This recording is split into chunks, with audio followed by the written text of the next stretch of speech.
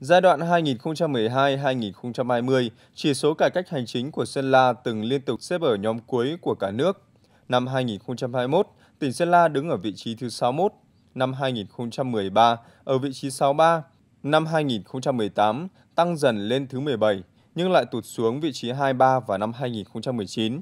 Nhìn lại kết quả của nhiều năm liên tục xếp ở nhóm cuối của cả nước, nhận thấy còn những điểm nghẽn trong công tác cải cách hành chính, cũng như nhiều địa phương khác, thời điểm đó Sơn La tiến hành cải cách hành chính với hệ thống văn bản, các thủ tục hành chính dườm già, trồng chéo, phương thức quản lý, tổ chức bộ máy, phong cách lề lối làm việc xưa cũ. Nhiều cơ quan còn chậm đáp ứng công nghệ thông tin và hoạt động quản lý điều hành. Một số ngành không muốn phân cấp hoặc chưa đủ sức đảm nhận nhiệm vụ được giao. Nhìn thẳng vào sự thật đó, tỉnh đã tập trung lãnh đạo chỉ đạo thực hiện một cách đồng bộ, toàn diện với nhiều cách làm mới. Tỉnh Sơn La đã thành lập Ban chỉ đạo cải cách hành chính để thống nhất triển khai thực hiện nhiệm vụ. Nội dung kiểm tra tập trung vào công tác chỉ đạo, điều hành về cải cách hành chính, thực hiện 6 nhiệm vụ trọng tâm, cải cách thể chế, cải cách thủ tục hành chính, cải cách tổ chức bộ máy hành chính nhà nước, cải cách chế độ công vụ, cải cách tài chính công, xây dựng và phát triển chính phủ điện tử.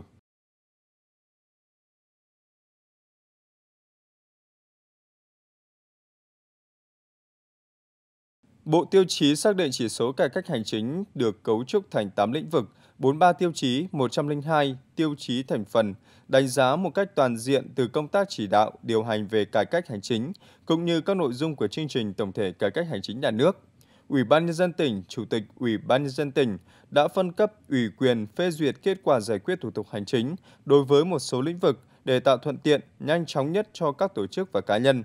Các sở, ngành và Ủy ban nhân dân cấp huyện, cấp xã tăng cường giả soát, cắt giảm thời gian giải quyết thủ tục hành chính, kiến nghị bãi bỏ những thủ tục còn dườm già, phức tạp và đơn giản tối đa về hồ sơ, trình tự, thủ tục, niêm yết đầy đủ, công khai tất cả các thủ tục hành chính thuộc thẩm quyền để người dân, doanh nghiệp tiện tra cứu. Đến nay, toàn tỉnh đã cắt giảm ít nhất 20% thời gian giải quyết thủ tục hành chính, nhất là các thủ tục liên quan trực tiếp đến người dân, doanh nghiệp, trong đó đã thực hiện rút ngắn tối thiểu 30% thời gian giải quyết thủ tục hành chính lĩnh vực xây dựng. Riêng thủ tục cấp giấy phép xây dựng đã cắt giảm được 50% thời gian thực hiện, từ 30 ngày xuống còn 15 ngày. Lĩnh vực môi trường rút ngắn thời gian thực hiện thủ tục hành chính, giảm từ 10% đến 30%. Lĩnh vực khí tượng thủy văn giảm từ 50% trở lên thời gian giải quyết so với quy định. Hiện 100% thủ tục hành chính cấp tỉnh được cập nhật công khai dưới nhiều hình thức phù hợp. Tỷ lệ hồ sơ thủ tục hành chính giải quyết đúng hạn đạt trên 99%. Hồ sơ trả quá hạn đều được cơ quan, đơn vị thực hiện công khai xin lỗi theo đúng quy định. Cán bộ một cửa thì ờ, cũng thường xuyên ờ, nắm bắt được, giả soát nắm bắt được các văn bản ờ, về giải quyết thủ tục hành chính để khi tổ chức cá nhân họ đến giải quyết thủ tục hành chính thì cán bộ một cửa phải có trách nhiệm là giải thích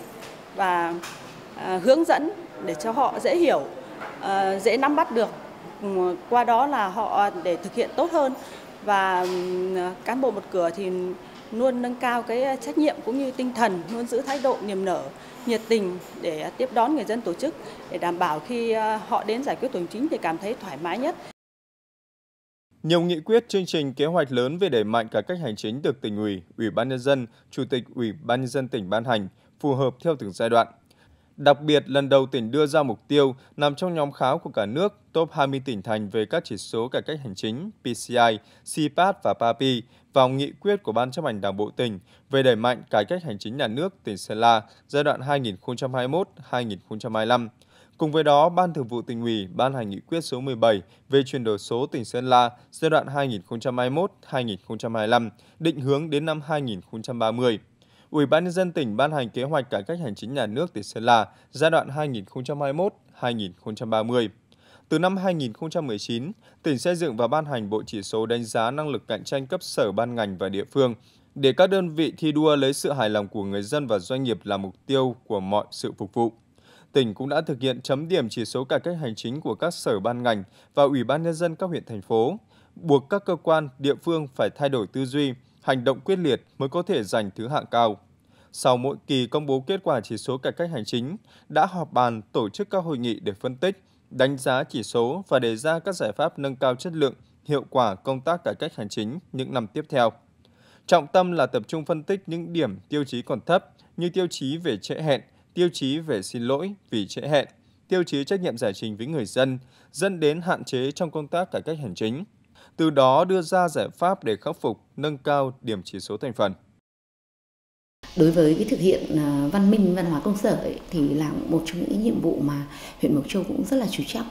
Làm thế nào đó để mà mỗi cán bộ công chức viên chức thực sự phải nêu cao cái vai trò trách nhiệm của mình. Mình không chỉ nắm vững về chuyên môn đâu mà thái độ phục vụ, cũng như là cái cách ứng xử của mình để đảm bảo được cái việc là là là đáp ứng được cái sự hài lòng của người dân. Có thể những cái mục đích của người dân mà người ta đến để đề nghị chúng ta không đạt được thì người ta vẫn cảm thấy hài lòng khi mà khi mà mình được, họ được giải thích rất là cặn kẽ.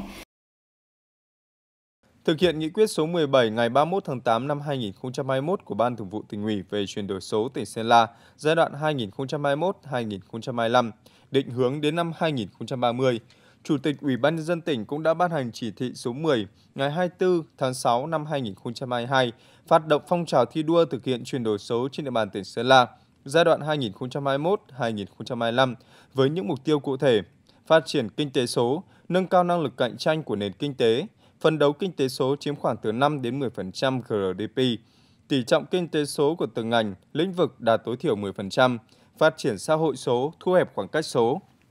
Hạ tầng mạng băng thông cáp quang phủ trên 80% số hộ gia đình, 100% xã. Phổ cập dịch vụ mạng di động tốc độ cao 4G và 5G và điện thoại di động thông minh. Tỷ lệ dân số có tài khoản thanh toán điện tử đạt trên 50%. Với sự chỉ đạo quyết liệt trong công tác điều hành là chìa khóa để tỉnh Sơn La gỡ dần những nút thắt trong thực hiện công tác cải cách hành chính. Điều này được minh chứng khi năm 2020, Sơn La vượt qua nhiều tỉnh, thành phố khác vươn lên xếp thứ 20 cả nước về chỉ số cải cách hành chính với 84,84%. Đến năm 2021, tiếp tục bứt phá trên bảng xếp hạng với sự có mặt trong top 15 tỉnh dẫn đầu cả nước với 87,62%, đứng thứ 5 trên 14 tỉnh Trung Du và miền núi phía Bắc. Làm việc ở công ty thì đặc thù công việc phải làm việc giao dịch với các sở ban ngành nhiều và đặc biệt là ở trung tâm hành chính công thì tôi cũng nhận xét là thấy các anh chị ở đại diện các sở ban ngành ở hành chính công là hướng dẫn nhiệt tình và cụ thể hồ sơ thiếu chỗ nào thì anh chị hướng dẫn bổ sung nhiệt tình và xử lý hồ sơ nhanh.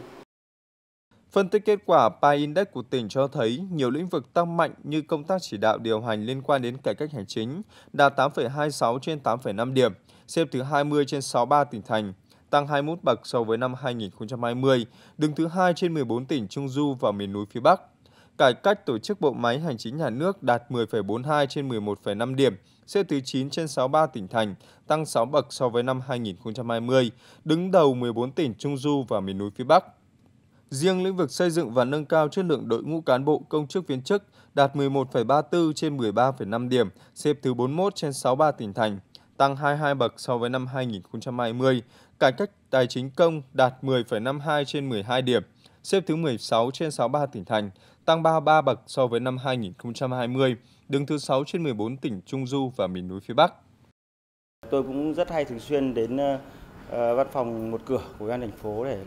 Ờ, thực hiện những công việc hành chính như là ờ, đăng ký biến động cũng như là à, bên à, nộp thuế và ờ, các sở ban ngành à, các phòng ban khác. Khi đến đây thì tôi thấy được cái tác phong làm việc của các cán bộ ở nơi đây rất là là tốt. Là thứ nhất là rất đúng giờ, tác phong rất là chuẩn mực trong công tác hành chính với sự nỗ lực quyết tâm của các cấp các ngành địa phương trong thực hiện những giải pháp cải thiện và nâng cao chỉ số cải cách hành chính, đã từng bước đưa nền hành chính quản lý sang nền hành chính phục vụ. Đây là cơ sở tiếp tục củng cố, nâng cao niềm tin cho người dân và doanh nghiệp, đồng lòng góp sức cho sự phát triển chung của tỉnh trong những năm tiếp theo.